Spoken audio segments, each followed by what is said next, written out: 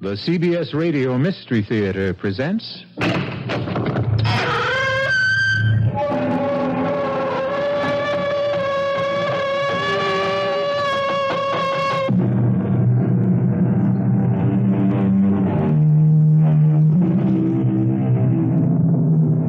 Come in. Welcome. I'm E.G. Marshall. Welcome to the exciting world of your own imagination. The live body, muscles rippling, seems suspended in air, twisted in its last agony. The goat legs flexed in their last spring. The beautiful boy's face transformed by a snarl of agony as the arrow bites through the back flesh to bury itself deep in the heart. This is a legendary bronze statue called the Dying Fawn. Legendary in more ways than one.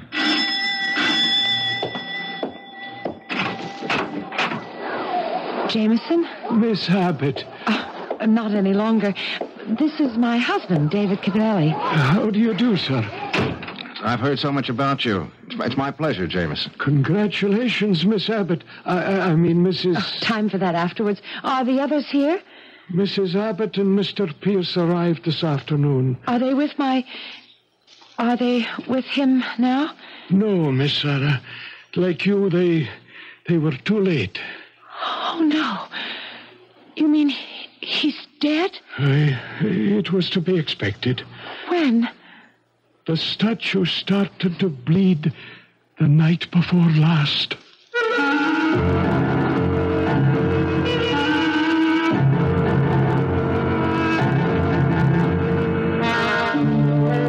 Mystery drama, The Bleeding Statue, was written especially for the Mystery Theater by Ian Martin and stars Patricia Elliott and Tony Roberts. It is sponsored in part by Buick Motor Division and Anheuser-Busch Incorporated, brewers of Budweiser. I'll be back shortly with Act One.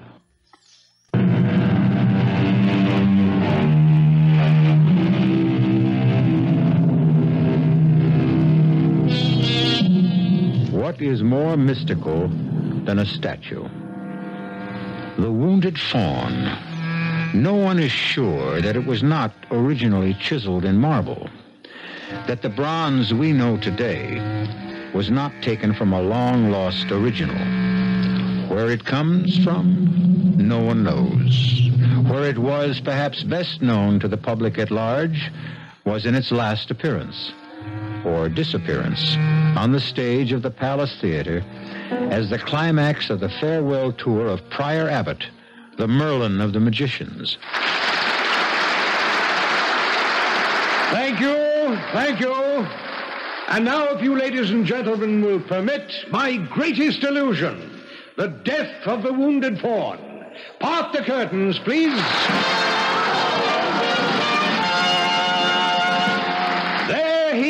For the last time on any stage. I beg your pardon, dear audience, the second last time. For if I'm to make him disappear, I would have to make him reappear, and both in front of your very eyes. Observe the dying fawn. 1,440 pounds of cast bronze. I invite any member of the audience who questions this assessment of weight to join me on the stage.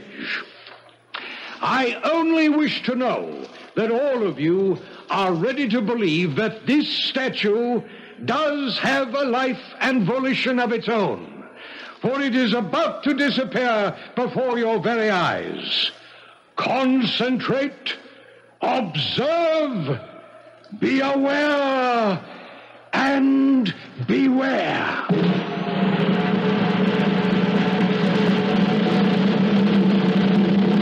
That was back in 1936, David. Fifteen years before I was born, 18 for you. How do you know about that final performance? You weren't there. Neither was my mother. She was about five then. Strange. What? I can't connect your grandfather. Um, now, what do I call him? Not what you do. The wizard. It's kind of corny. Not for me. It was my mother's second marriage. I was five years old. Mother was about 28. He was 57. Much as I loved him and as full as life as he was, I, I never could call him Dad, and Grandpa would have been an insult. So, because of all the marvelous tricks he did, he became the wizard. Oh, David, you never saw anyone so, so young as the wizard, in body as well as in mind. That's why I can't. believe- Easy, easy does it, baby. You've done your crying for him. Oh, it's awful to think of him lying in that coffin, dead. I, I can't believe it isn't just another illusion. And when we go down to dinner, that he won't have escaped like Houdini and be sitting waiting for us with a big smile. I'm afraid even the wizard can't spring himself loose from this one. Oh, I'd better get my best bib and tie on to greet your relatives. Uh, I wouldn't worry about them. Hmm. Well, I don't want to make too bad an impression. Your stepbrother's a pretty important man in my life. Because he's president of Abbott's Tool and Machine. Oh, Pierce is just a figurehead. Now, there's only one man who could. Come on now, Sarah. Oh, I just can't believe he's dead. He was. Oh, David, you just had to have known him to understand. He was. He was indestructible. Darling, he was going on 76. But he didn't look or act more than 50. Well, you hadn't seen him in more than two years. Well, Yes, you're right, of course, but even then, even with a heart attack and my mother dying, he- You, you don't have to tell me, Sarah. God knows he was a giant to me. But not as a magician, uh, as an industrialist, an inventor, an innovator. I never knew all that came from, uh, from being a, well, it sounds crazy to put it this way, but a, a plain magician. Oh, he was no plain magician. I've seen blueprints of some of his illusions, and they're more complicated than splitting the atom. Hey, hey, hey, it's almost 7.30. Now, look, I, I've got to have at least a clean shirt. Yes? Excuse me, madam, but dinner will be served in half an hour. We'll be right down, Jamie. He's always so formal. Well, and he kind of gives me the shivers. What was that bit about the statue starting to bleed? Oh. Oh, that that's a silly old legend. Uh, you want to tell your silly young husband what? But I I think the wizard probably made it up for the act. Well, I'm persistent if nothing else. Made up what?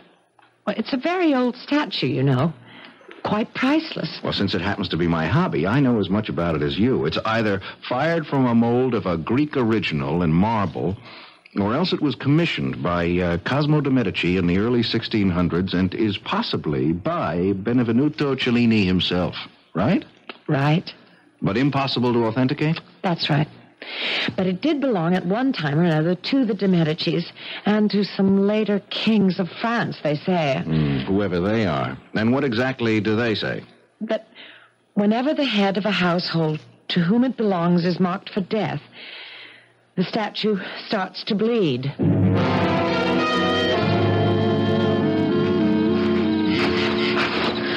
I don't want to be late for dinner. No, we won't be. I, I just had to see this fabulous statue. Well, there he is. Wow. What a setting. He's magnificent, whoever the sculptor was. He's sad. Poor wounded God. God. Come closer. Look at him. He's not just a faun. He has to be Pan himself. Uh, without the horns. Ageless, deathless, the spirit of youth and life. Just like the wizard. I never thought he could really die. Hush, hush, baby. That's the only thing none of us can sidestep. Hey, where's this blood supposed to come from? From the air wound, of course. Hmm. Right here? It's between the shoulders? Oh, I suppose I've never seen it. It's it's just a story, David. What what is it? It's nothing. Let me see your hand. You touched the statue. Look, it's just rust, darling, that's all. Bronze doesn't rust, David. That's blood.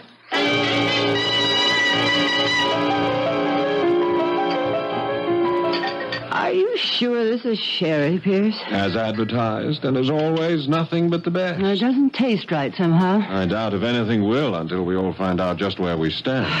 It's upsetting that he died so suddenly and unexpectedly.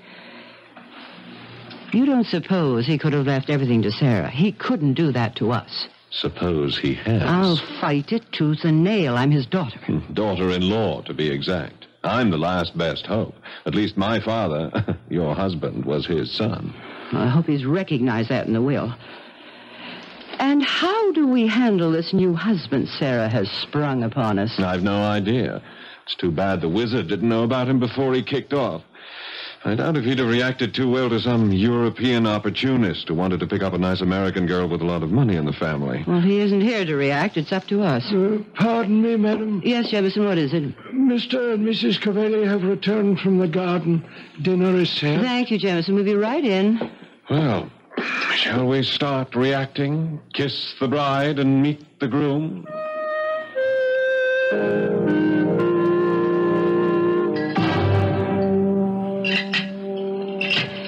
Well, since we all seem to have finished dinner, shall we retire to the drawing room for coffee? And the moment of truth. You can clear if you wish, Jameson. Yes, Mrs. Abbott. Oh, thank you, Jameson. I can pour the coffee, and Pierce will serve the liqueurs. And, Jameson, well. you can make your arrangements about the tape, whatever they are. Very good, madam. Will we have to come to the study to hear it?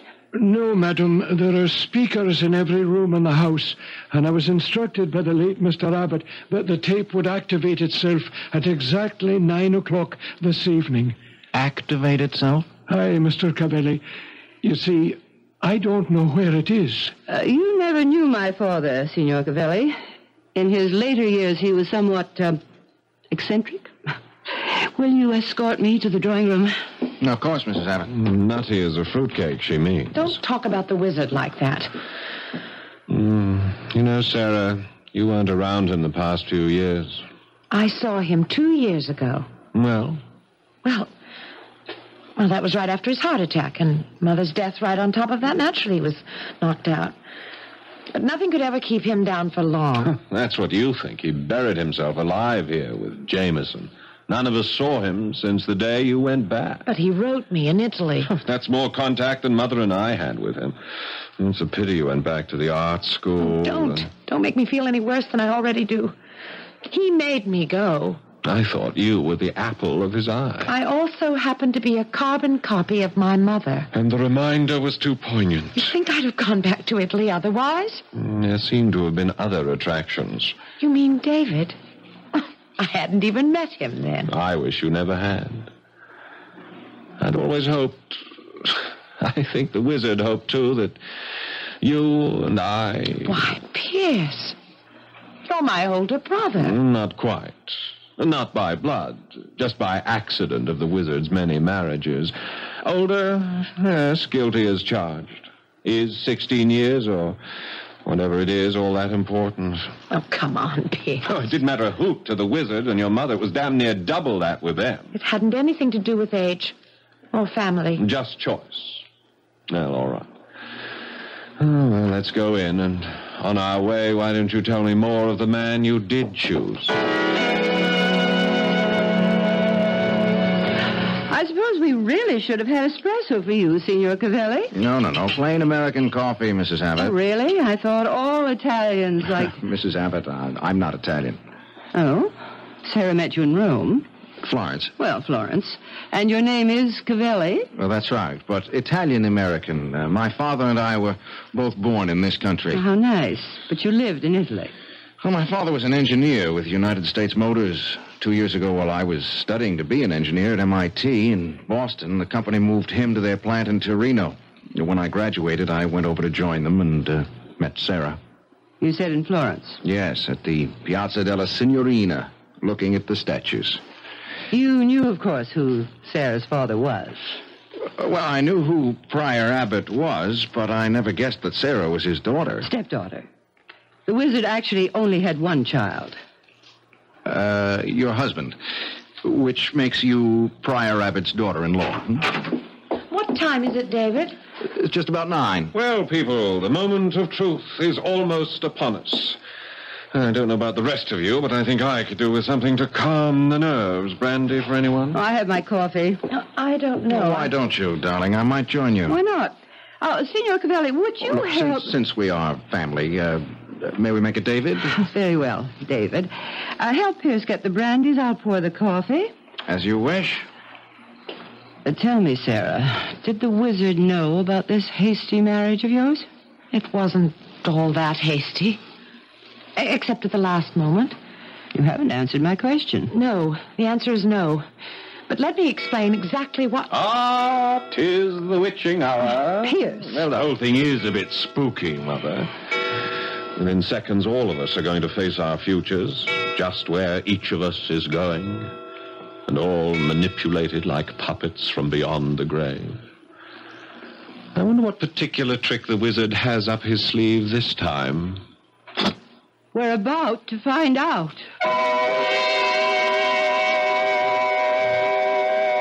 Pierce Abbott termed it the moment of truth. Are we to hear it from a disembodied voice speaking out of the past?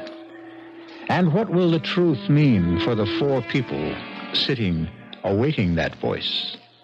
I'll return shortly with Act Two.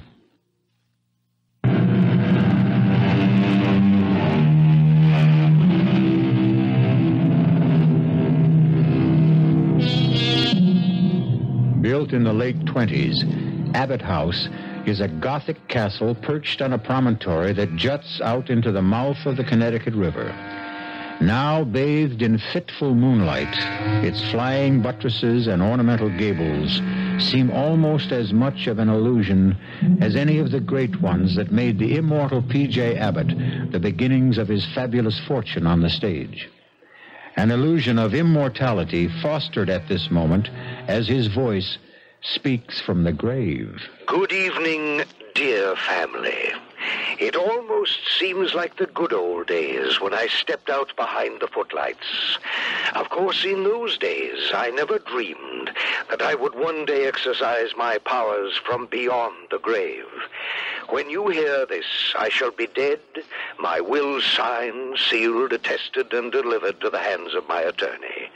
It leaves everything I have completely and totally to my beloved Sarah without let nor hindrance, now that she is 21 years of age. Everything. How dare he? God, what am I going to do? Oh, no, I, I don't want it all. Subject to these provisions, in the event that my daughter-in-law and her son will sign papers prepared by my attorneys waiving all right or claim to my estate, or legal moves to contest it, they will receive jointly an income yearly till their deaths of what I shall call 30 pieces of silver, the equivalent of $30,000. I further make it a condition that until the will is probated, that all three of you shall stay here at Abbott's house, nor shall any of you leave the grounds for any reason whatsoever. He's crazy. Don't ever say that about the wizard. And just in case any of you question my sanity, my will is attested to by three objective psychiatrists who have found me sound of mind. And now for a few personal messages. Can't someone turn that off? I don't want to hear any more. I've arranged uh, there's no way for you to turn this recording off. I want you all to hear. Sarah, you and your mother were the two bright spots in my life. Your mother was taken from me. I don't think it was an accident. But I can't prove otherwise. So the best I can do is what I have done.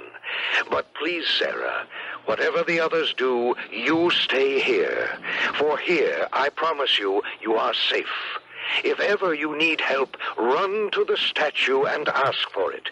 You will find it. A last good night from the wizard, who trusts you and loves no one but you. Insane. Absolutely mad as a hatter. What was all that about Sarah's mother? He's trying to suggest that we had something to do with her death. Oh, uh, Sarah, I hope you don't think. Pierce, I don't want to think at all at the moment. I've been traveling for something like 16 hours and my head is splitting. I'm a bit cross-eyed myself. If you'll excuse us, I think we'll turn in. Yes, we're all a bit rocky. Come on, Sarah. Yes, David. Will you excuse us, Mrs. Abbott? Of course. We're both really bushed. Good night, Aunt Rose. Good night. I'm not going to let him get away with it, Pierce. Take it easy, Mother. Not on your life. For that matter, on both our lives. That's what we're going to have to fight for, baby boy. Oh, would you please stop that? I'm sorry, Pierce, silly habit, but you, you're all I've ever had. Well, let's not start down that road. No, no, no, you're quite right. That isn't what has to concern us at the moment. That little witch, that someone from nowhere, just like her mother. She's not going to take away Abbott's house and the business and everything else from us without a fight. It's ours. Not if the wizard left the will he said he did. Wills can be voided. I wouldn't count on it. I'll take odds his can't be overturned. He's sure to have covered every angle. Except one. What's that? The heir has got to be alive to succeed to the estate.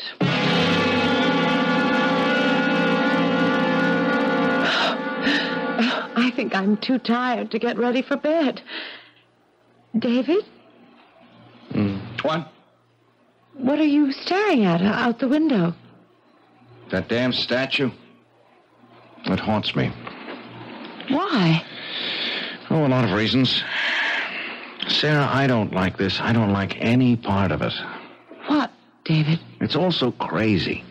Statues that bleed and disembodied voices on hidden tape recorders. Your stepsister, or whatever relation she is to you, and Pierce. The suggestion that your mother's death was. How did she die, darling? Well, I was away, so I only know what I was told. The wizard had had a heart attack, and she'd been nursing him. She came downstairs and told them that she wanted a breath of air, and she went Wait, out. wait a minute. Wait a minute. Who is them? Them, Pierce and, and Rose and Jameson. Where were they? Rose and Pierce were in the drawing room. Jameson was in the pantry. And none of them followed your mother. Followed her. How did she die? She.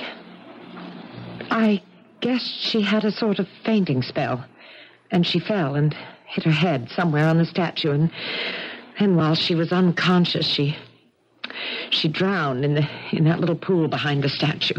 You're sure of that? Well, what else could have happened? There was a coroner's inquest and a lot of newspaper stories, of course.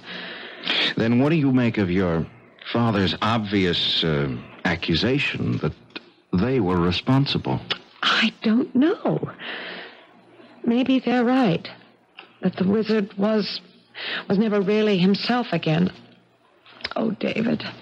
I wish you could have known him. He was marvelous. The most marvelous person I ever knew. Before you. Holy smoke. What is it? The statue, it's. It isn't there anymore. Gone. What do you mean? Where? Wait a minute. Cloud just drifted across the moon. As soon as it clears, you'll see. But it couldn't just disappear. But it did. There's nothing there but the empty pedestal. And the grotto and that little pool rippling in the moonlight. Wait a minute. That cloud's just about to clear, and we're. I don't believe it. Well, you'll have to. There it is, large as life. But it wasn't there a moment ago. Darling, there must have been a tree branch in the way. How could it disappear? Oh, David, David, I'm just wrung out. I've got to go to bed. I, I just want to sleep away today. Do you mind if I use the bathroom first, dear? Of course, darling. I, I want to run downstairs for a moment anyway. Where are you going? I won't be a minute. I just left. I left something in the car. I want to get it.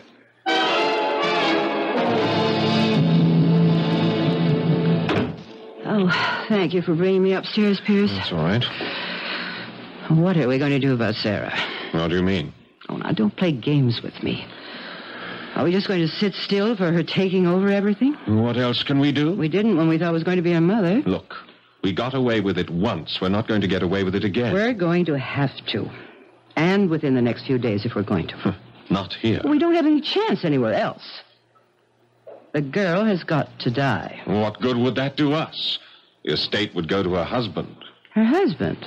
Oh, now that's very interesting, Pierce.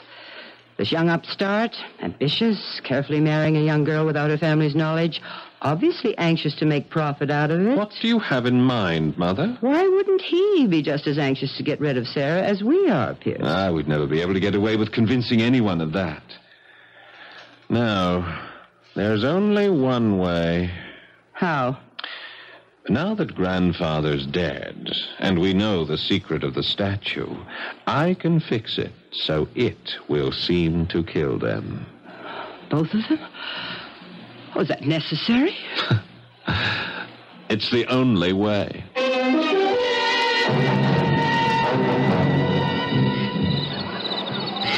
There's nothing there now. Heaven knows it seems solid enough. I wonder. This is Who's that? You know, it's, it's Jameson, sir. And Miss Sarah was asking for you. Oh, yeah, sure. I'll be right in. Jameson, Yes, sir. you've been with the family a long time. Uh, with Mr. Abbott, I was, sir. Nearly 55 years. I started out with him as an assistant in his magic days. He was about the grand illusionist of all time, I guess. Ah, no one better, sir. He was beyond peer. And this uh, statue was one of his better ones, huh? Before it got cemented into place here at Abbott House, that, that's nearly 40 years ago. But he used to make it disappear right on stage, didn't he? Well, eh, in a manner of speaking. Well, what does that mean? An illusion, don't you see? It never moved. It took 11 tons of mirrors and 14 helpers to make it happen. That was the old days. Eh, they won't come again.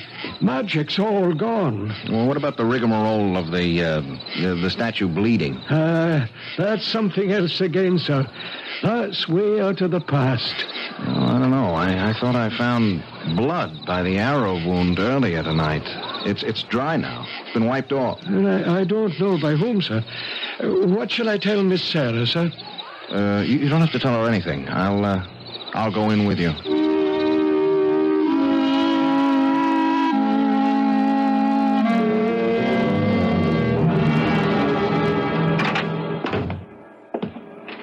When you're tired, fancy plays strange tricks, Mr. Cavelli. Uh, I was thinking of making a toddy for Miss Sarah if she'd like it. Uh, there's nothing better for putting you off to sleep. I'm sure I don't have to ask her. She'd love it. Uh, and yourself, sir. No, no, I'll, I'll skip the hot drink. Maybe you'd like to join me in a nightcap, David. Where did you spring from? The wall? no, as a matter of fact, I was headed for the pantry here to ask Jameson to make one of his famous toddies for Mother. Uh, and for you, Mr. Abbott. Oh, no, thank you. I'm a cigar freak. Oh, uh, Jameson, when you've made the drinks, uh, I'll take them up. Oh, that's all right, sir. I, I'm happy to be of service. I'll bring them up when they're ready. Want to join me in a nightcap while we're waiting, David? okay. Uh, just a quickie, though. Then I'll walk you upstairs.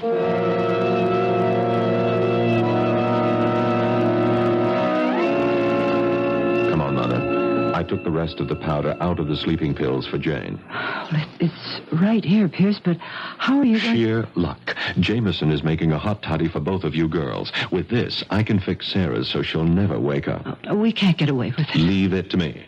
David and I just had a good night drink.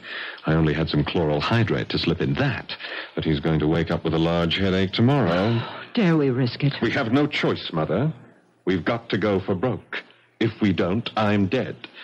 And as you well know, I'm just selfish enough to make sure that everyone else goes before me.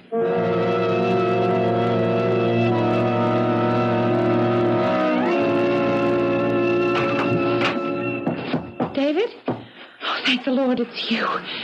Come here, darling. Quickly. Uh, sorry, I, I don't know. I, I gotta get to bed. What, what is it? I just looked out the window again, and you're right. The statue just isn't there. It's completely disappeared. Statue. Statue? Something about statue.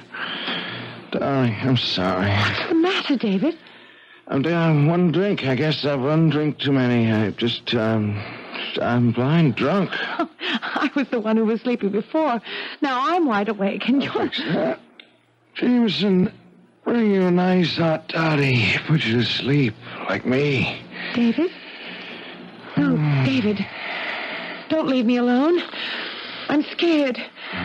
David? David, I don't know what I'm scared of, but I'm scared.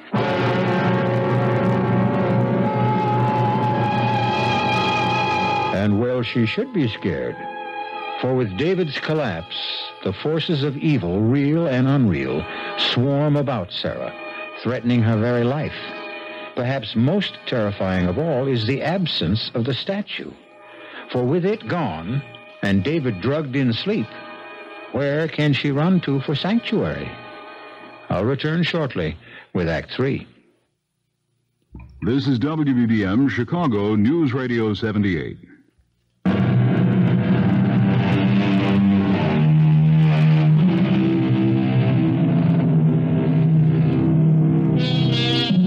Those scudding clouds that alternately mask and unmask the moon play a ghostly light across the long, curving staircase as Pierce Abbott descends it. The phial of lethal powder spilled from the sleeping pills hidden in his hand. Silently, he crosses to the swinging door of the pantry, edging it open slowly, disappointed to find Jamie facing him. Yes, Mr. Abbott. Oh, just wondering if the drinks were ready to take up. We'll just have to add the hot water. Anything I can do for you, sir? Oh, uh, yes, um... E- excuse my back, sir. Oh, that's quite all right. Just getting the kettle. That's fine, that's fine. Uh, what did you say before? I, I wondered what brought you down again, sir. Oh, yes. Anything I can help you with? No, I, I thought perhaps I might have left my lighter down. Ah, indeed you did. I put it right here on the tray with a glass for your mother.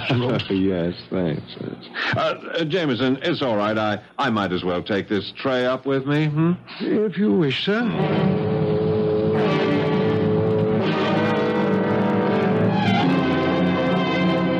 All set, Mother. Here you are. What is it? One of Jameson's nice, uncomplicated toddies mixed by his own hand. As of this moment, he's delivering the same to Sarah. The same. Uh, he couldn't testify otherwise. His back was turned when I salted it. With my barbiturate? Enough to kill a gorilla. We can't get away with drowning them the way we did her mother. We won't even try to. No, they'll die quite differently. How? I've been experimenting with the statue, and I've made a discovery. It moves on hinges and counterweights and escapes into the pool. Take those hinge pins out, reduce the counterweights, and it will collapse and crush anything in the way of its fall. The secret room would be exposed. No, no, there's a false base which slides into place. The whole thing will seem nothing but a tragic accident. Another chapter to add to its legend. When will you get them there? Tonight, when everyone's asleep. Sarah may be dead already. David is dead weight, but I can drag them through the secret tunnel. It's mostly downhill. Come on, drink your toddy, go to sleep, and uh, leave this to me. I won't draw an easy breath all night. Hmm, by tomorrow, you'll be able to. We both will.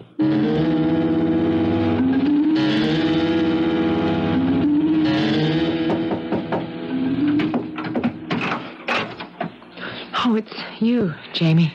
I thought you might like a little toddy before you turned in, Miss Sarah. The Scottish panacea. Not exactly, but it does make for a long, peaceful sleep. I could use that tonight. Your new husband didn't want any. No, he's sound asleep already. Well, see you tomorrow, Jamie. You'd better, or the old wizard would never forgive me. I only wish he were here. So do I, Miss Sarah. But don't you worry. Wherever he is, he's looking out for you. Turn the key in the door after I leave. You'll sleep sounder. Maybe I'll do that. Good night, Jamie. Good night, Miss Sarah.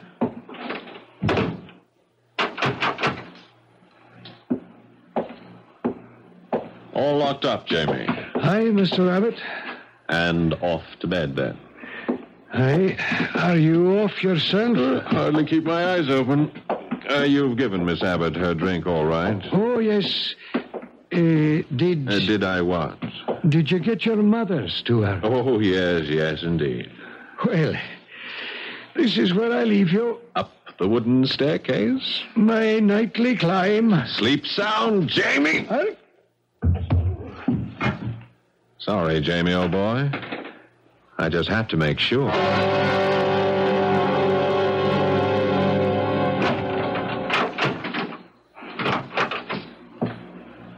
What?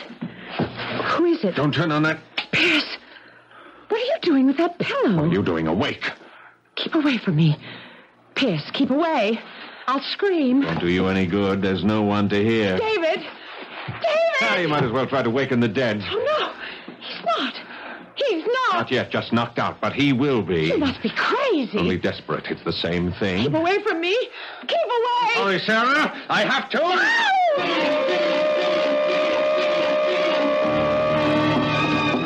Help me. Someone. Help me. Wizard. Wizard. Help me. Save me. You said to come to the statue. Help me. There's no one to help you anymore, Sarah. No one. It's moving. Help. Help. You're safe, Sarah. Come quickly down into the vault. You're alive. Quickly! Damn you, grandfather. Can't you stay decently dead? Damn you, son. Can't you stay decent? I'll make you stay dead this time. I've gone too far to hang back. I warn you, I won't hesitate to use the gun. Then don't, or it will be too late. Pierce! No, I. No, I won't let you trick me again. The last trick is going to be mine. Wizard. Look out. The statue. Too late. We all go together.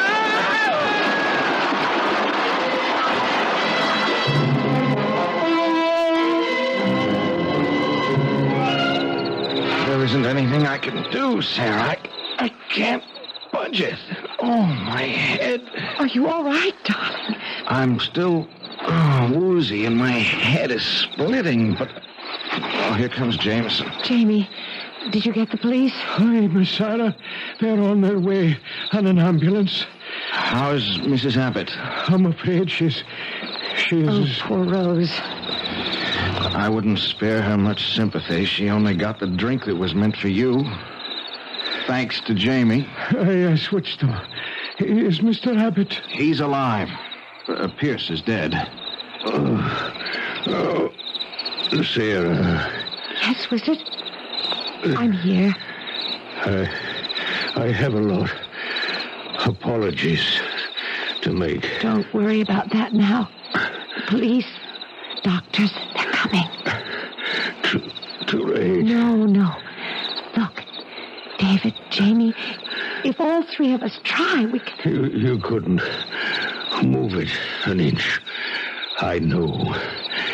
I know it well, this old statue. Once I could move it with the flick of my hand.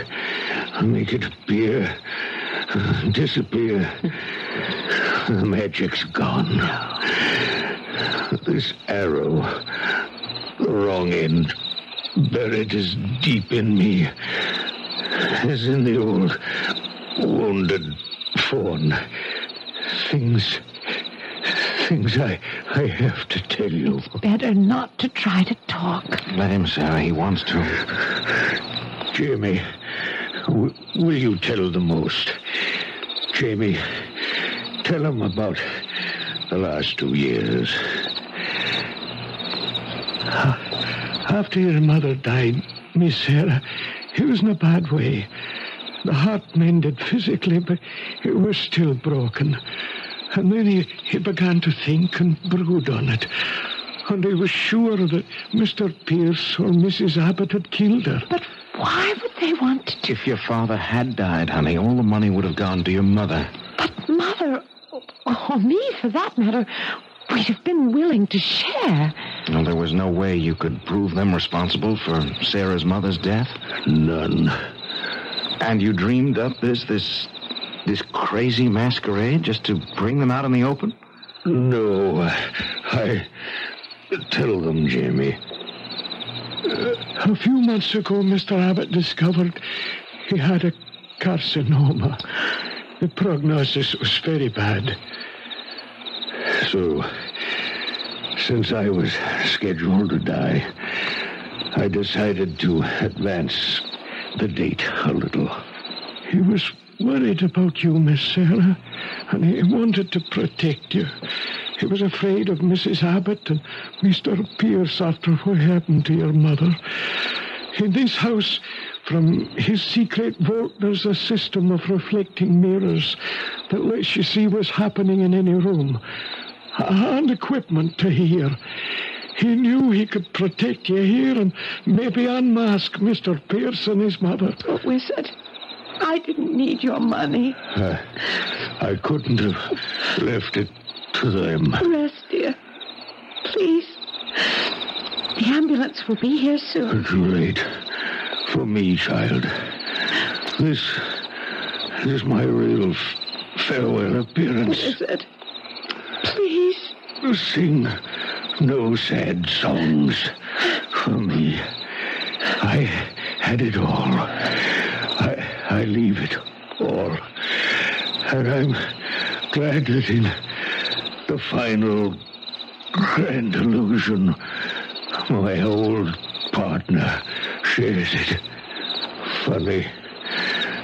The day before you came, I cut my hand on this arrow buried in my chest. It was blood.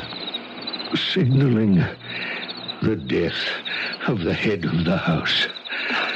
Now, Sarah, this statue will never bleed again.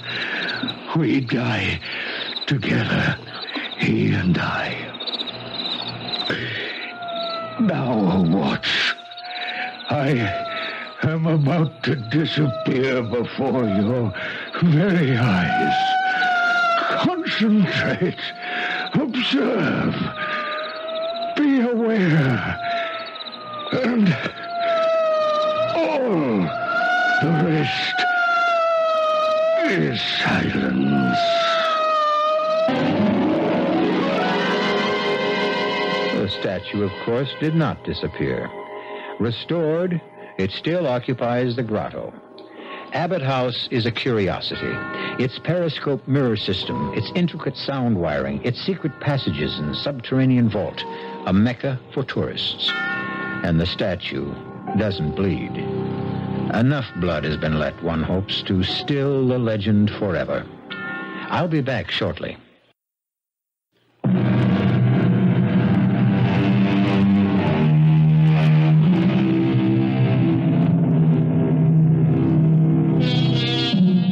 On sober reflection, one can't be too sure, of course, that a legend will die.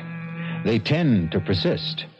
But since the head of the Abbott household is now Sarah, and she has at least 50 years ahead of her, few of us will be around to find out.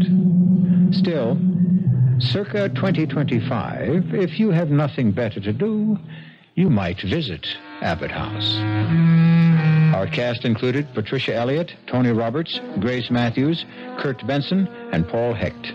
The entire production was under the direction of Himan Brown.